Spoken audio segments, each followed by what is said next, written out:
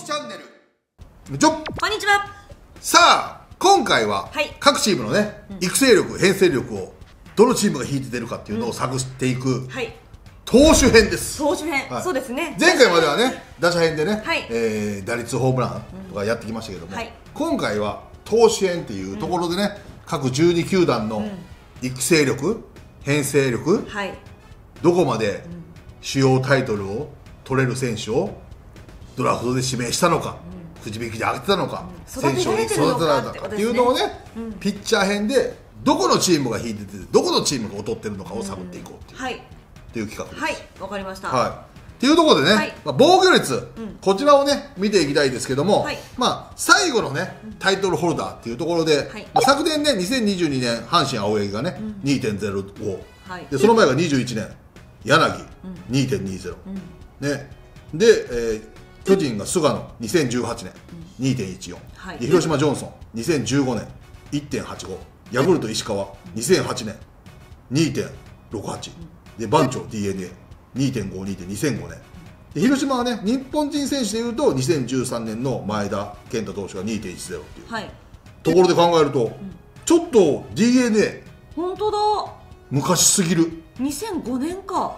うん、番長が最後か18年前。わーお。ちょっとこれは、そうですね。うん、まあでも今永とかがねはい。怪我なく元気でくればうんうん。可能性は出てくるけども、はい。ちょっと長いね、ん。まあでもでも暗黒ベイスターズ時代やったからね。ちょっと。そうですね、うでも防御率だけだからってことはないんですか？なんか他のタイトルだったらもしかしたら d n a もっとなんかこう最多勝とか奪三振とかだったら取ってる可能性はなくはないじゃないですか。まあそうね。それはまたおいおい。おいおい。今日は防御率だけですから。防御率だけですか？今日は防御率だけ。だけで見る感じですね、でヤクルト石川、はい。2008年、うん。俺ちょっとだいぶ昔。うん、2008年もう25年前。じゃあ15年前。15年前ですね。うん、ちょっと昔だね。そうですね、うん。ちょヤクルトもいないのかな？先発。確かにヤクルトってなんかこう先発の防御率でガンガン抑えてるって確かにないね。エースっていうかなんかあんまり思い浮かばない。まあですね立山とかいたけど取れてないんだみたいなね。感じだね。うん。石川。で小川も取れてないってことだもんね。そうですね、うん。うん。そう思うと石川雅則さんまだやってるのすごいですよね。うん。そうだね。はい。しかもヤクルトねここ12年は優勝してるけどその前最下位とかだったからね。そうですね。うん。うん。で広島もねはい。2013年の前剣以来だからね。うんで大瀬良とか森下とかいけそうだけどね。いけそうだけど取れてないんだね。そっか、うん。防御率は取ってないんだ。ねえ。はい。であとパ・リーグ、うん。えー2020年山本、はい。1.68うん。で、えーソフトバンクは千賀。2020年2.16、はい。で楽天岸、2018年2.72、で西武菊池雄星。2017年1.97でロッテ石川歩夢。2016年2.16で日本は大谷2015年2.24あなんか意外と近年。そうだね、どこもねはい。近年だね。はい。比較的バランスよく。一番前が大谷投手の2015年なので。そうだね、うん。でもちょっとここ最近山本王国が。そうですね。うん。ちょっとそこを打ち崩せない感じが。あの2019年山本、はい。で20年が千賀、であの2122がまた山本なのねだからそのあの2011年からはマー君吉川マー君金子千尋大谷石川菊池、えー岸山本千賀山本山本なの。うん、うんでその前がダルビッシュダルビッシュ。で岩隈成瀬。斎藤和美杉内松坂。松坂斎藤和美、えーオリックス金田さん、で、えーミンチっていうところがね2001年まで来てるわけよ。で、えー2000年が恵比寿さん。オリックスで、えー99年工藤さん金村小宮山さん伊良部さん伊良部さん新谷さん工藤さん赤堀さん渡辺さん野茂さん村津長司さん、えー河野さん工藤さん佐藤義則さん工藤さん、今井さん東尾さんとかってね来る。うんだから比較的変わるね。はい。やっぱ防御率は、ね。ずっと取り続けるの難しいね、うん。その中で過去近年でいうと工藤さんの4回が最多だね。で歴史上で言えば稲尾さんの5回が、はい。えー防御率は最多。今山本由伸投手は三回。3回か。でセ・リーグは、えー22年からやった青柳柳大野大野、えー菅野菅野菅野、ええジョンソン菅野。前健前健吉見前健チェン石川高橋久典さん。黒田さん三浦さん、え上原さん井川。桑津さん野口さん。石井和久さん。上原さん野口さん。大野豊さん。斉藤正樹さんブロス、え角大元山本真さん、え森田さん笹岡さん斉藤正樹さん斉藤正樹さん大野豊さん桑田真澄さん北別府さん小松さん小林誠司さん福間さん斉藤明夫さん江川さんっていう感じで。その後菅野投手やっぱすごいですね。すごい4回。うん。しかも3年連続3年連続、ね。だからセ・リーグでいうと、菅野の4回が最多だね。うわーすごい。へ防御率。えでその後大野大野来て柳青柳だからね、っうん。ていうだからちょ DNA がねはい。2005年の番長までいかないと。い番長の前になると誰なんですか？番長の前だと横浜っすよね。はい。番長の前ないのかそれとも横浜がやっぱり。番長の前だとあの2000 1993年の森田さん。あでもそれでもあだから結構92年だ、92年の森田さん。横浜太陽ホエールズ。はい。それでもやっぱ12、3年空きますね、その前が1982年斉藤明夫さん。あ82年その前が79年平松さん、プロ野球ニュース。のは皆さんですね、はい、っていうところになるね、だからちょっと横浜防御率うん。取る選手があんまりちょっと育てられてないっていうのがいないね。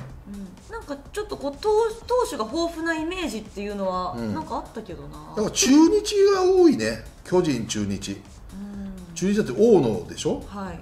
で柳投手もえ吉見でしょ、で柳でしょ、でチェンでしょ？はい、で野口さんでしうん。ょ、で各大元山本松さん小松さんはい、鈴木高松さん、多いね。それ中日多いですね。中うん。比較的中日。まあ巨人がもちろんね多いのはあるっていうけども、はい。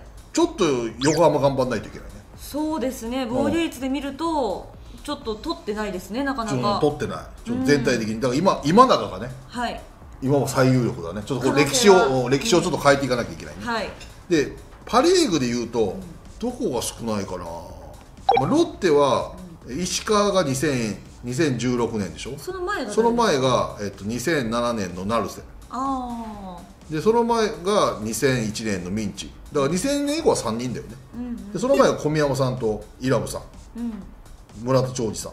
はい。へえ日本ハムはどうなんだろう？日本ハムは大谷ダルビッシュ2回。で金村。あこう河野さんで高橋さん岡部さん北さんここ3年連続日本。パ・リあれじゃーグない西武はどうですか？菊池雄星投手。菊池雄星の前がはい。松坂、ああ松坂投手がいるか。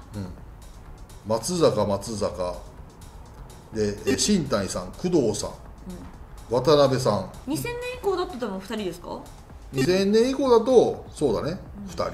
でオリックスは山本由伸金子千尋。でああ金田さんで恵比寿さん、でも比較的全チームいるね。いますね。だってソフトバンクも千賀がいてえ斎藤和美杉内だからね、3人でしょ？2000年であはい。と工藤さんが1999年。うんで、まあ、楽天はね2005年からだから、はい。生え抜きでいうとマークしかいないけど、はい。でも全球団いるね。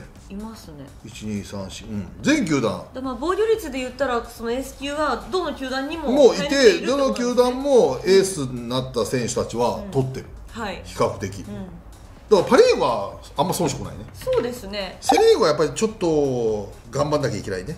あの横浜。横浜がってことだからですね今永がね、うん。この歴史を覆す大チャンスだね。はいあとはカープがちょっといないね。